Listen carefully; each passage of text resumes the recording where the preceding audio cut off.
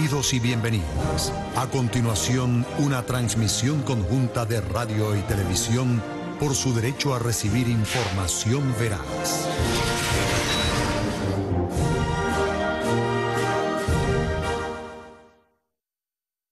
Buenas noches a todos, a todas.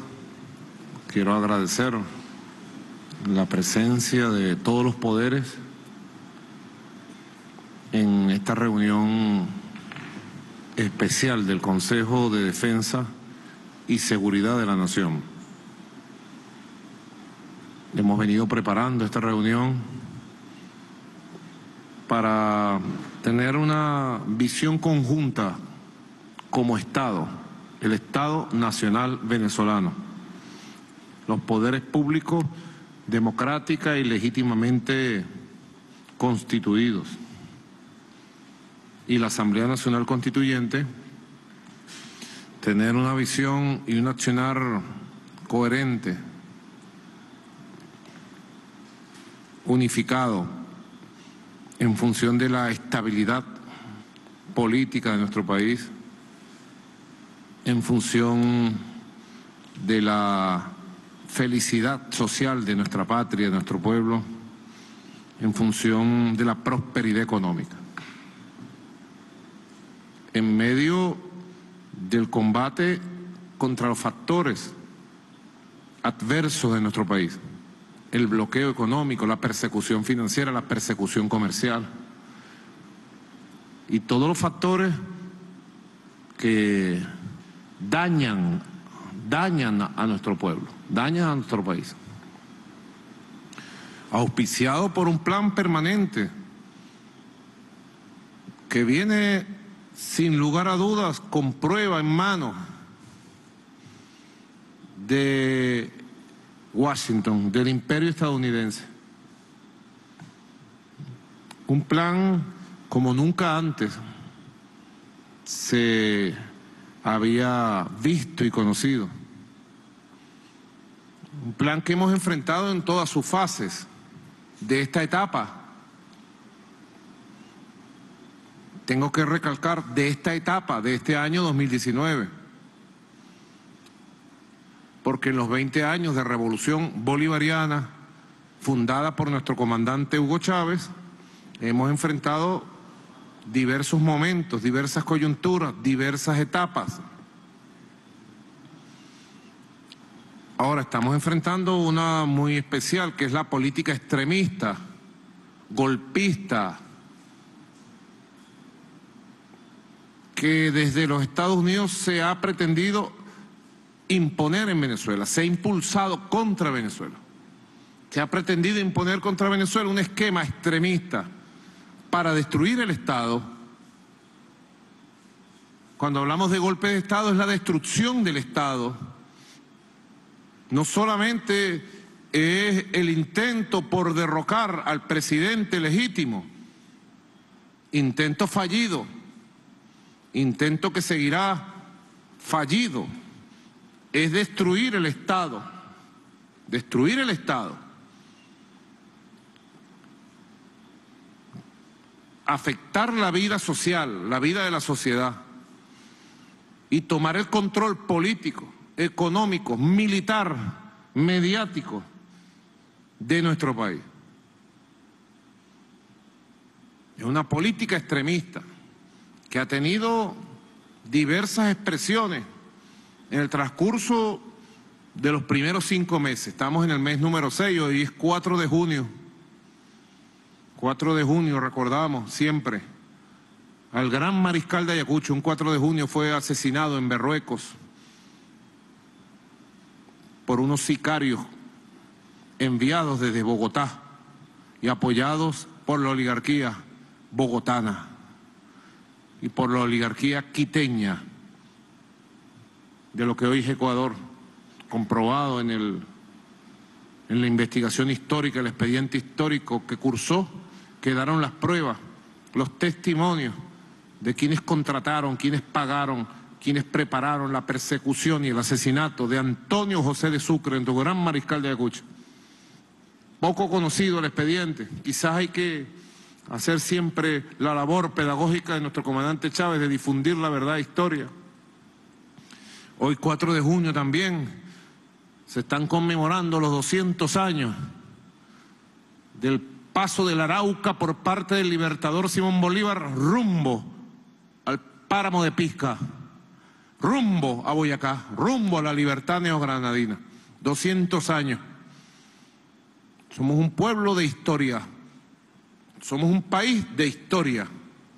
Nosotros llevamos la historia como carga y fuerza de futuro. Para nosotros la historia es una fuerza más de futuro que de pasado, porque es compromiso, es ideal, es valor, es dinamismo.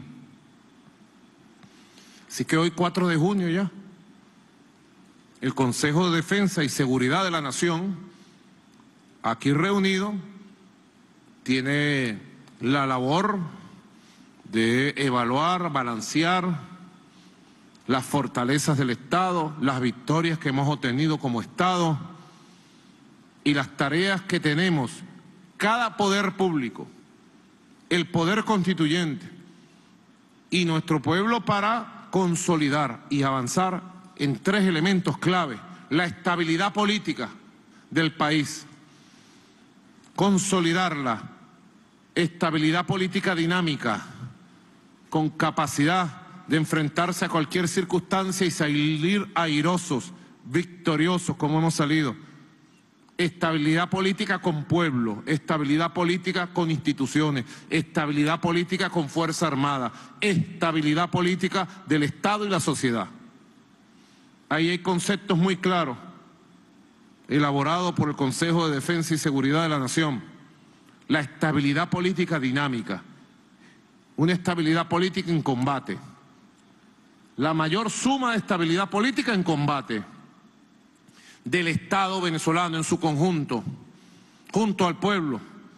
Siempre no hay estabilidad política ni democracia si no hay pueblo. Los enemigos de la patria, los golpistas pueden hacer de todo, lo que quieran hacer, pero si hay pueblo, siempre habrá victoria y siempre habrá estabilidad política necesaria para el país la estabilidad política, avanzar en la estabilidad política, consolidarla en combate, avanzar en todos los planes que tienen que ver con la máxima felicidad social, la seguridad social de nuestro pueblo, el alimento de nuestro pueblo como elemento clave, el trabajo, el ingreso de nuestro pueblo,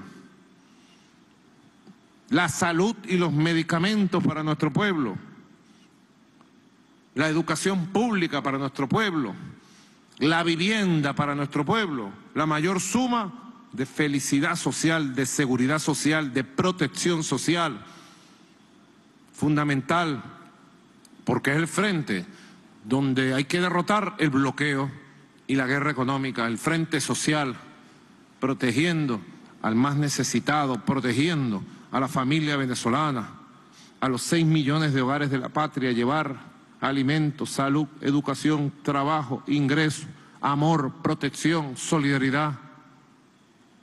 Hemos lanzado un plan. Yo pido el apoyo de todo el Estado venezolano. Un plan de atención a las víctimas de la guerra económica. Ya lleva dos semanas la jornada, casa por casa, y verdaderamente ha impactado todo el bloqueo económico, toda la persecución financiera, todo el bloqueo comercial ha impactado en importantes poblaciones del país. Pero ahí estamos llegando, ahí estamos llegando, en hogares de la patria, con el movimiento Somos Venezuela, llegando, llegando, llegando, tocando, ayudando, auxiliando, apoyando, con la solidaridad de Cristo Redentor allí con la mano de Cristo siempre adelante. Y en tercer lugar, la prosperidad económica, el crecimiento, la recuperación económica. En un momento que, como lo he dicho en varias oportunidades, en varios encuentros productivos, es el momento de nuestro país, ahora o nunca, para la recuperación, el crecimiento de la nueva economía para la satisfacción de las necesidades nacionales, para la producción de bienes productos, para la producción de riqueza, para elevar y garantizar la soberanía alimentaria con producción en la tierra venezolana. Meta sine qua non, meta obligada, producir todo el arroz, todos los granos, todo el maíz blanco, todo el maíz amarillo, toda la leche, toda la carne, todo el pollo, todo, todo, todo, producirlo aquí. Y vencer el bloqueo comercial, alimentario, que ha impuesto el imperialismo gringo contra Venezuela. ¿Cómo se vence con producción nacional? Y no es difícil, hemos echado las bases. Señores, señoras, altos representantes y jefes constitucionales del Estado venezolano, hemos echado las bases para avanzar, elevar, elevar, elevar la producción y garantizar la autosuficiencia y la soberanía agroalimentaria de Venezuela, así como la activación de todos los motores tecnológicos, industriales, del campo, de la ciudad, producir todas las medicinas en Venezuela. Podemos, sí podemos, tenemos con qué. Hay el aparato tecnológico, industrial. Insisto que tenemos con qué, señora vicepresidenta ejecutiva, doctora Delcy Rodríguez Gómez. Tenemos con qué. Elevar la producción petrolera. Ya estamos logrando algunos avances importantes. Producir todos los derivados del petróleo, la gasolina, el gas en Venezuela. Elevar la producción del arco minero del Orinoco al máximo nivel, riqueza constante y sonante para nuestro país, para sus inversiones, para los gastos. Bueno, en, en definitiva, la recuperación y el crecimiento económico para el logro de la máxima prosperidad económica posible. Son tres elementos clave. Reitero mi saludo especial y la bienvenida aquí en el Salón Simón Bolívar del Palacio Presidencial de Miraflores esta noche de martes 4 de junio al presidente de la Asamblea Nacional Constituyente, compañero Diosdado Cabello Rondón. Y mi saludo a todo el poder constituyente, poder plenipotenciario. Han tomado la decisión de trabajar hasta diciembre de 2020. Tuve la información, me parece muy bien que la Asamblea Constituyente esté hasta diciembre del 2020 protegiendo la estabilidad política, protegiendo el desarrollo de los derechos constitucionales, trabajando junto al pueblo, protegiendo el Estado, combatiendo el golpismo y el imperialismo. Excelente. Por encima de la Asamblea Nacional Constituyente no hay nadie, ningún Estado, ningún poder del Estado. Nosotros estamos todos los poderes del Estado subordinados a la constituyente, poder plenipotenciario supremo de la República, poder del pueblo. Ah, bendito día que convocamos y elegimos la Asamblea Nacional Constituyente. No sabíamos el alcance que iba a tener para la batalla por la paz del país. Ah, buen alcance, bendito día. Bendito día. Tenemos constituyente para rato y la constituyente nos protegerá a todos y será la contención al golpismo para aplastarlo definitivamente. Salga de donde salgan los golpistas, preparados para aplastarlos con todo. Actitud combatiente de la Asamblea Constituyente. Y todo el pueblo a la orden de la Asamblea Nacional Constituyente. Todo el pueblo a la orden de la Asamblea Nacional Constituyente y sus llamados. Mi saludo. Igualmente, bueno, ya saludé a la doctora Delcy Rodríguez Gómez, al presidente del Tribunal Supremo de Justicia, magistrado, doctor Michael Moreno, mi saludo a todos los magistrados del Poder Judicial, poderoso Poder Judicial, constituido legítima y legalmente, democráticamente fortalecido en el ejercicio diario de su acción permanente.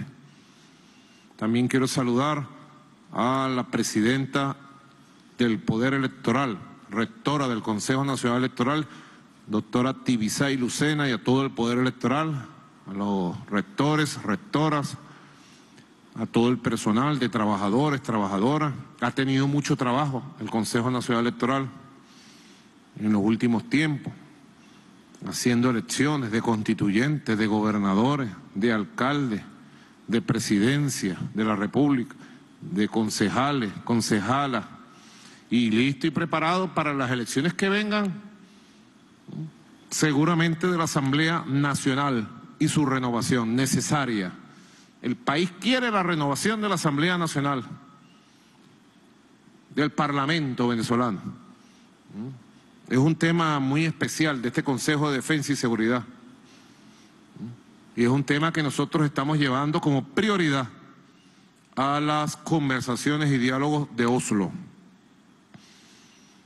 allá en Noruega, y a todas las instancias de diálogo político del país. El país quiere elecciones, sí, de la Asamblea Nacional para estabilizarse más, para recuperar el tiempo perdido, para restañar los daños y las heridas hechas al cuerpo legislativo del país.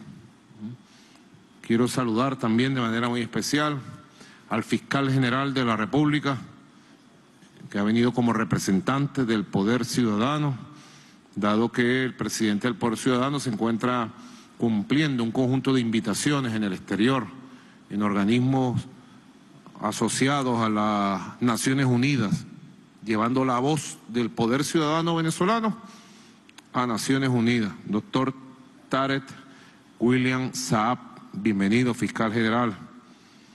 También quiero saludar de manera muy especial a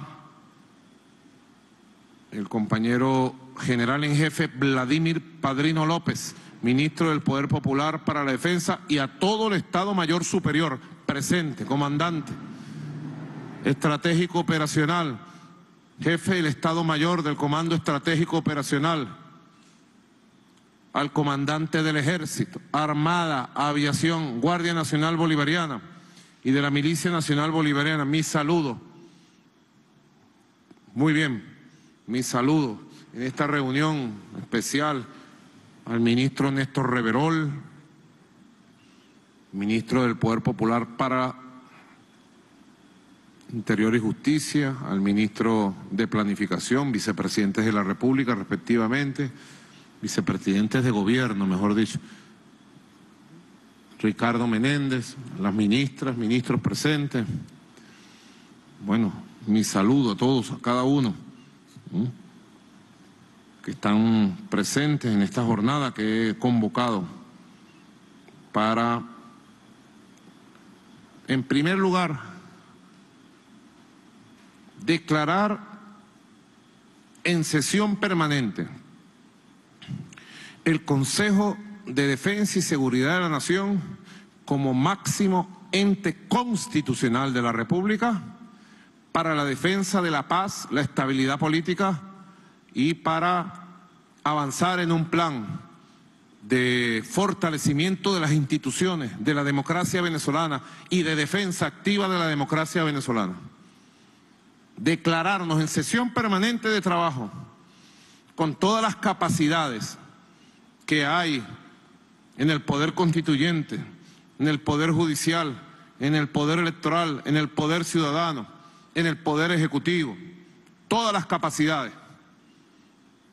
para junto a nuestro pueblo, junto a las instituciones, en unión cívico-militar, desarrollar un plan para lo que resta de año, junio, julio, agosto, septiembre, octubre, noviembre, diciembre, para que el año 2019 y lo que resta sean meses de estabilidad, de paz, de recuperación, sean meses de victoria de Venezuela compromiso tenemos nosotros para que eso sea así. Sean meses de consolidación de la paz en Venezuela. Estamos acechados, saben ustedes. El imperialismo todos los días, todos los días, todos los días, busca cómo hacerle daño a Venezuela, desde afuera y desde adentro. Que nadie se duerma en los laureles, los laureles de las victorias que hemos obtenido este año, los laureles de las victorias grandes que hemos obtenido este año. Siguen conspirando. Quiero decírselo al pueblo, alerta pueblo de Venezuela, alerta a nuestro país Seguimos nosotros trabajando todos los días con la buena fe, con la lealtad al máximo nivel, con el mayor de los amores. Pero la conspiración de ellos para dañar desde adentro al país continúa y ha entrado en fase de locura y desesperación. Lo denuncio ante el país y ante el mundo. El imperialismo norteamericano y los traidores secuaces que están al lado de ellos han entrado en fase de locura y desesperación nuevamente, compañeros. Sé lo que estoy diciendo. Así que el Estado venezolano debe reaccionar a tiempo, con fortaleza, con serenidad, con fortaleza institucional, con fortaleza revolucionaria, en defensa de nuestra patria. En defensa de nuestra constitución, en defensa del derecho a la paz, al desarrollo, a la vida de nuestro pueblo, que se resume en este libro especial, en este tratado de principios, de valores, que es la Constitución de 1999. Con la Constitución de 1999 y dentro de la Constitución de 1999, todo. Fuera de la Constitución o contra la Constitución, nada. Sentencia firme que debe defender nuestro pueblo en las calles y la Unión Cívico-Militar. Dentro de la Constitución y con la Constitución, todo. Por la paz, por el derecho al desarrollo, por la prosperidad y la felicidad de nuestro país. Todo. Fuera de ella y contra ella, nada el que vaya contra la Constitución y pretenda destruir la paz de nuestro país y nuestra democracia nos encontrará de frente, de manera absolutamente decidida, junto al pueblo en unión cívico-militar total y le tocará un solo destino, la derrota, la derrota absoluta de cualquier intento de destruir nuestro país de golpear nuestro país, de dañar nuestro país. Hablo con la convicción que me da y la moral que me da la lucha diaria, el ejercicio diario de un poder democrático. Hablo con esa autoridad inspirándome en estos principios constitucionales para decirle a nuestro pueblo la verdad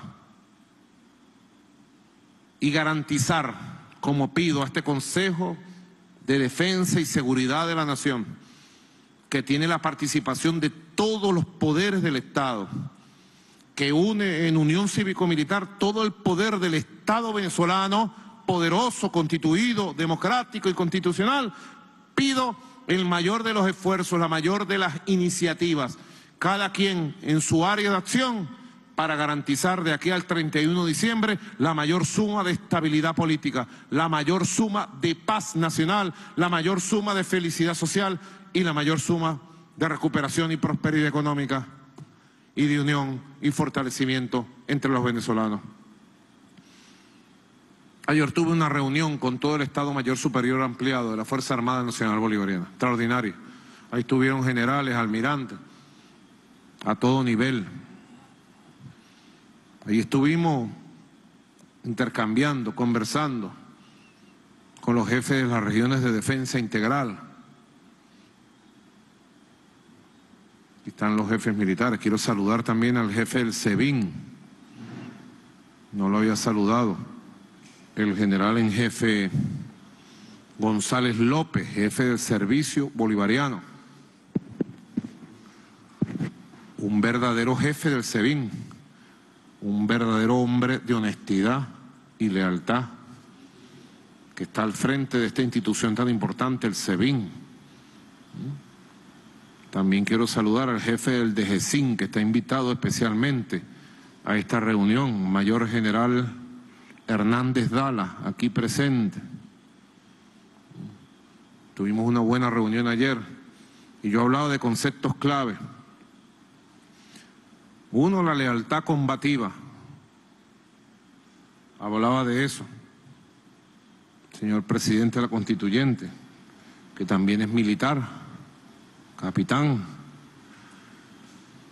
¿Mm? Hablaba de la lealtad. Puede haber una lealtad complaciente, dubitativa. No, soy leal, pero de lejos, miro todo de lejos. No, la lealtad que necesita el país, la lealtad que hoy existe en la Fuerza Armada Nacional Bolivariana cada vez más es una lealtad combativa, combatiente, activa, con iniciativa. En disposición permanente. Leales siempre, traidores nunca. Eso, mira, corre profundamente en las venas de nuestro pueblo, de nuestros militares, de los militares de la patria. Corre en su conciencia y su corazón, leales siempre, traidores nunca. La lealtad como un valor supremo de este tiempo. La lealtad ¿cómo? Con la patria. Todo el que se sienta patriota y bolivariano tendrá que vibrar por el sentimiento más genuino de defensa de la patria y no ponerse jamás al servicio de planes imperialistas para destruir el país desde adentro, para apoderarse de los recursos naturales y de las riquezas de nuestro país. Vergonzante, vergonzante ver a un traidor, como lo hemos visto, ponerse al servicio de los intereses del imperio norteamericano y deshonrar el uniforme y el grado militar y deshonrar inclusive en el caso de los civiles su propia identidad y su propia nacionalidad como venezolano. Hablábamos de esto ayer en la reunión, muy buena reunión el lunes, 3 de junio, nos cayó un palo de agua sabroso ahí, en las carpas militares, donde nos reunimos. Hablábamos de la lealtad como valor supremo, motivador, movilizador para esta para este momento de la historia que estamos viviendo. Hablábamos de la unión y la cohesión absoluta de la Fuerza Armada Nacional Bolivariana. Hablábamos de la disciplina, la obediencia y la subordinación como valores constitucionales, también en práctica profunda de nuestra Fuerza Armada Nacional Bolivariana. Oí yo buena parte de estas reflexiones, tendrías que extenderlas al resto de los poderes del Estado. Ayer hablaba con el poder militar, sin lugar a dudas, el poder en Venezuela, el poder militar es un gran poder. Por eso el imperialismo trata de penetrar el poder militar. Por eso el imperialismo trata de debilitarlo, de dividirlo, de enfrentar entre sí a la Fuerza Armada, desmoralizarla, llenarla de mentiras, de intrigas. Y la Fuerza Armada con todo su poder moral al frente siempre, dando batallas y obteniendo victorias diarias, diarias, por día, por hora, por segundo inclusive, victorias diarias al intento de división, de intriga, de enfrentamiento. La Fuerza Armada está dando la batalla por Venezuela, se lo decía ayer. Fuerza Armada Nacional Bolivariana, siéntanse orgullosos que están dando la batalla por Venezuela y estamos venciendo. Y vamos a seguir venciendo. Están dando la batalla por el país y dándole cuatro bofetadas al imperialismo norteamericano. Y yo quiero extender hoy estas reflexiones de instalación del Consejo de Defensa y Seguridad de la Nación a todos los poderes, para que veamos, veamos estos valores de la lealtad a nuestra patria de la lealtad a nuestra historia grandiosa, de la lealtad al pueblo, sobre todo a los humildes, de la lealtad.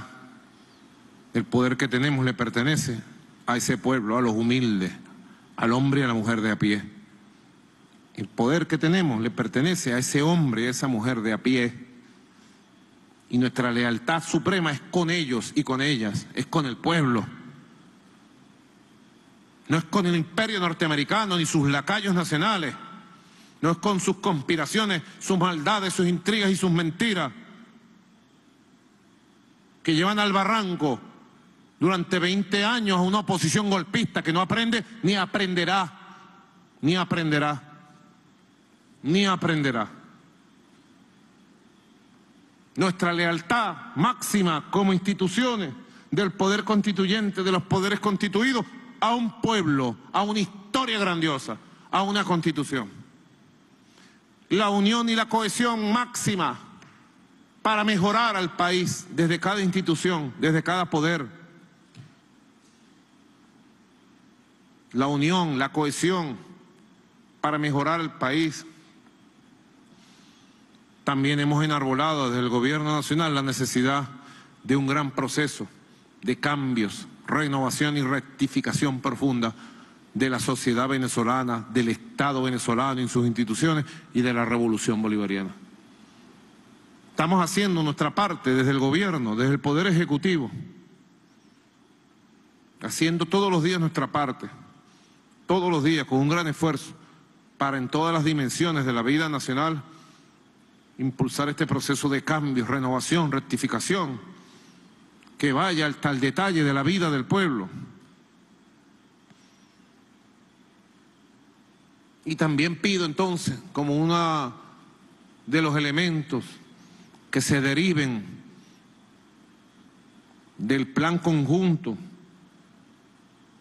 que como Estado hagamos en el seno de este Consejo de Defensa y Seguridad de la Nación sea el impulso de un gran plan de cambio, renovación y rectificación profunda de todos los poderes, mejorar todos para mejorar la patria, mejorar todo y todos, combatir la corrupción, el burocratismo, el minimalismo en todas las instancias de la vida y el poder constituyente, los poderes constituidos, el poder militar, le demos ejemplo de aires de renovación, de nuevos aires, de nuevos y buenos aires de renovación a nuestro pueblo. Sí se puede, digo yo, siempre, sí se puede, Venezuela, claro que se puede. Estamos en un momento clave de la historia, despejando los caminos hacia el futuro. Un momento clave de la historia despejando los caminos hacia el futuro. Y el Estado venezolano hoy debe ponerse al frente como Estado unido, como Estado unido, unidos como Estado, debemos ponernos al frente todos, asumiendo la responsabilidad, el poder constituyente como máximo poder de la República máximo poder constitucional y supraconstitucional. El poder ejecutivo como rector, yo como jefe de Estado, jefe de gobierno, los poderes judiciales, el poder electoral, el poder ciudadano. Y nuestra Fuerza Armada Nacional Bolivariana obediente, subordinada, disciplinada, a mi mando como poder militar de la República, como poder de paz de la República, como poder armado de la República. El poder de las armas que la Constitución le da para defender la existencia de la República y su funcionamiento. Por eso quise que fuera hoy, empezando el mes de junio, 4 de junio, que nos reuniéramos y declaráramos en sesión permanente al Consejo de Defensa y Seguridad de la Nación para impulsar un plan conjunto como Estado en unión cívico-militar junto a nuestro pueblo de estabilidad política, de recuperación del país y sobre todo un plan que permita contener, atajar y derrotar cualquier intento de desestabilización o cualquier intento golpista que desde el imperialismo norteamericano se anuncie o se lleve adelante. Tenemos el poder, la convicción, tenemos la razón, tenemos la moral para hacerlo y estoy seguro que lo vamos a hacer. Así que Pido a Dios las bendiciones para que nos dé la máxima sabiduría para que este Consejo de Defensa y Seguridad de la Nación delibere y tome las iniciativas que necesita nuestro pueblo. Y a nuestro pueblo le pido el máximo apoyo para seguir avanzando en la paz, en la estabilidad política y cuenten con el Estado venezolano en su conjunto. Y ya estaremos informando en las próximas horas todos los planes nacionales, regionales, locales para llevar adelante desde el Consejo de Seguridad y Defensa Nacional un gran plan de renovación, de cambio y de paz y estabilidad para nuestro país. Queda instalada oficial y formalmente esta sesión del Consejo de Seguridad y Defensa de la Nación, contenido en los artículos de la Constitución de la República Bolivariana de Venezuela y que agrupa al poder constituyente, a todos los poderes constituidos y al poder militar de la nación. Vamos a deliberar para nuestro pueblo y por la paz. Muchas gracias por su presencia y quedamos instalados de manera permanente, en sesión permanente. Muchas gracias.